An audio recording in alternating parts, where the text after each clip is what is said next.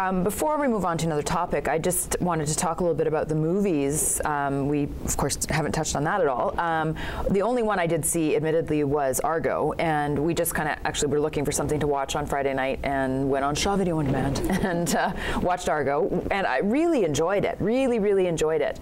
Um, I understand, as I'm sure everybody's heard now, that the Canadian role in the actual story was very much downplayed in the movie. Um, although people are, you know, thank you for thanking Canada, Ben Affleck, because we're very particular yeah. about these things in Canada, and we're all very hurt that we were left out.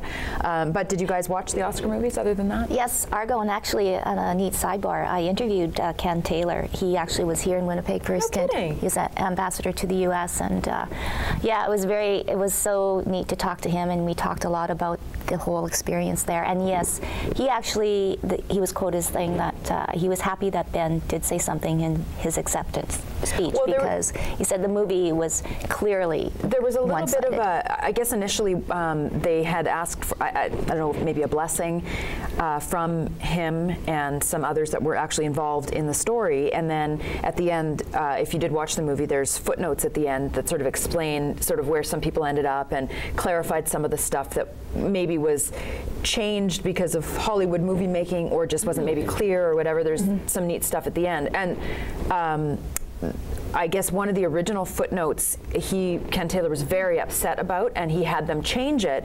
And then I guess he kind of gave his blessing. And then after the movie came out, right before the Oscars, he said he was upset. And then Ben Affleck was quoted as saying, "Well, I thought he was fine with it, and now he's upset. Like we, you know, I thought we talked about this." So there's still some controversy yeah. brewing. It's Interesting. So weird. Sorry. Sorry, it's so weird that Hollywood would uh, make a historical movie slightly inaccurate. You know, Odd. they never oh, do that. Truly. Yeah, that's why I learn all my history is from Hollywood movies. but as Canadians, we're so hurt by these things, right? Yeah. Canada wasn't given its fair due. Ah. History, though, I saw Lincoln, and nice. it was a really, it was beautifully shot. Mm. And I mean, Steven Spielberg is the master. What was funny though is Daniel Day Lewis, I know, is very, very short. And Abe Lincoln, of course, was tall like Daniel, like, right. yeah. And Sally Field is short too. Yeah. So shooting this, uh, this one scene where she's talking to Abe and he's towering over her, and I'm going there, okay, how does this work? Well, she had this big hoop dress on. So stilts of sort, some sort. And they showed him, so he was standing on the ground. So he like kind she, of She was in like a trench? She was in a, tr I oh, think that they actually had her in a trench because you on can tell, or on her knees, yeah. One of you sure two. he wasn't on a unicycle?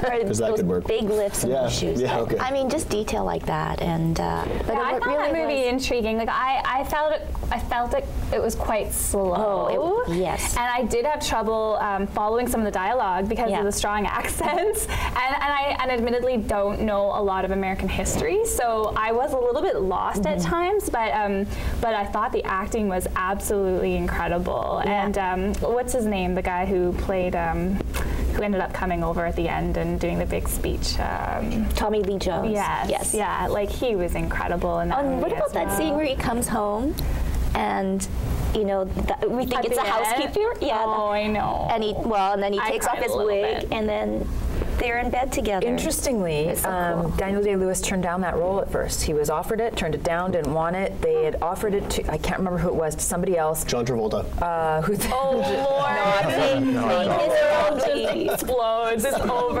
End of, end of times. And then uh, oh. that person dropped yeah. out. Why can't I think of who it was? Liam Neeson, maybe? I'm not sure. Anyway, and then Daniel Day Lewis did accept it, which is, you know, just funny how you hear, there's often stories like that that are attached to these really big movies and people's Oscars that would you know, have changed the movie so much, right? Yeah, yeah, but also just that they they win an Oscar for a movie role that they almost didn't take, or that was mm-hmm. you know somebody else at the very last second couldn't do, or whatever. It's kind of it's neat how that often yeah. happens. Mm-hmm. Um, I saw Les Mis in theater with my sister, and I went in unaware that the entire movie is sung. And how did you? How did I you don't know? watch. I did. I don't watch musicals. I thought they would break into song and dance. And I, I, honestly, like I stupid. John Travolta saying "Les Miserables." Yeah. I know. Oh, that was awful. Oh, like you, Yeah, you've got one Why thing to say. Why is he so bad? I used to love John Travolta, like loved. now I can't even. Like I see his face, and I'm like, ah, why are you such a disappointment? but world.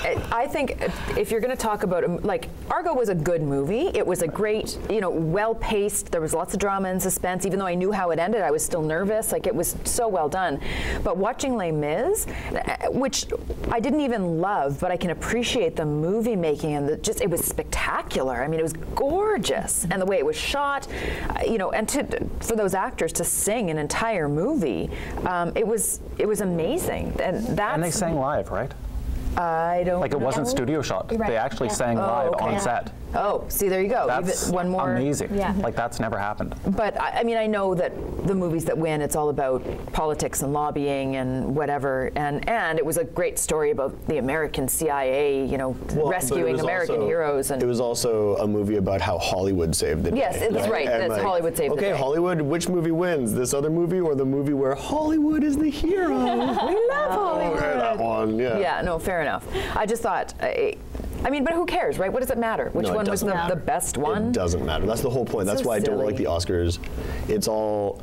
It, like awards for art, c- making art a competition is ridiculous. I think it should be more cooperative, and you should just go out and find out what you like for yourself instead of letting other people tell you. Well, yes, Wouldn't that's true. Live in Hollywood. Hmm. I know that's why I live in Winnipeg. Although, if you compare actresses, like Anne Hathaway is in a different league than Jennifer Lawrence. yeah, And I don't know how they're both up on that stage. Like Anne Hathaway to me is is spectacular. Mm-hmm. She will be an actress forever. She can play so many different roles. She's dynamic, and then you bring in this girl who can shoot a bow and arrow. Yeah. Hunger, Hunger Games, that's all I kind of attach it's her like, to something. and it's the same as Daniel Radcliffe. You know what? Is he a great actor? No. No. Was he Harry Harry- Potter? Yes. Does he ever have to work again? No. And So- he's weird. He is weird. He is well, he like, he grows like a little little five o'clock shadow on purpose, like to make sure everyone knows he's a man now. It's like, every time we see him, he's like he's not shaven, you know, because he would look too much like Harry Potter. I was doing. Can I just say, I was doing a little pre-research, um, and I Pre-search. pre-search, Yeah.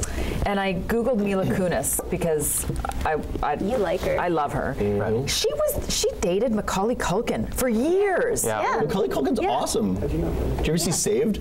No. See that movie and then tell me Macaulay Culkin's not awesome. Isn't he? He's weird and strung No, out he's and cool. He's a bizarro He's awesome. and. I think he's he's spectacular. Really? He's a great actor. He's really cool. Because she is like to me, she's just the epitome of gorgeous. She's beautiful. She's got a great body. She seems really sweet. Everything I've ever seen her, any interview I've seen her in, she seems like we could be friends. Like she seems cool. I like Just her. making friends with all these Yeah, Hollywood yeah. like. FYI, can someone get Kim her phone number? That's right. Text right. me. But and then I said that she was with Macaulay Culkin, and I, I heard one of our camera guys off camera just say, "How did you not know that?" I don't know. I don't follow this stuff. So, but anyway, uh, that shocked me. I just thought that's that doesn't make any But sense. isn't she now with Ashton Kutcher? I think so. Yes. Yes. Yes. So, moving on up. Yeah. For sure. Yes. Uh, Life of Pi. Did anyone see that? No, No. I read the book. It was awesome. I read the book too. Did you like the book or no? Ah, meh. You didn't. Eh? I was I was so so on it. Yeah. I dug it. I, lo- I loved it. And uh, Yeah, I read it when I was in, uh, you know, traveling. I Yeah. It's one of those books that if you read it when you're when you're traveling, you have this like some pseudo spiritual experience. For sure, yeah, think. yeah. I really liked it. and I thought they did a great, great job with the Well, movie. it was, Ang uh, Lee, right? yeah. Yeah, and he does such fantasy kind And of. And he won for his for something. Well, one for cinematography and for music you know- soundtrack or something like that. music. Yeah. Oh, we should just ask Daniel. Just Yeah. defer to Just Daniel on yeah. everything. So, what did you think of Adele, Skyfall? I actually didn't know she wrote it until that night when we Googled it. So we're sitting there with the iPad, and I'm like, did she just sing this? Because it seems like her music, it sounds like her stuff, but all she does is say the same word over and over again, um, which is a little weak. Yeah. Um, but to know that she actually wrote it, I appreciated more. But the performance was mediocre. But I also appreciated that she stayed in the same dress all night, Yes. She did. That's true. the same outfit, and in every shot, it looked a little bit different.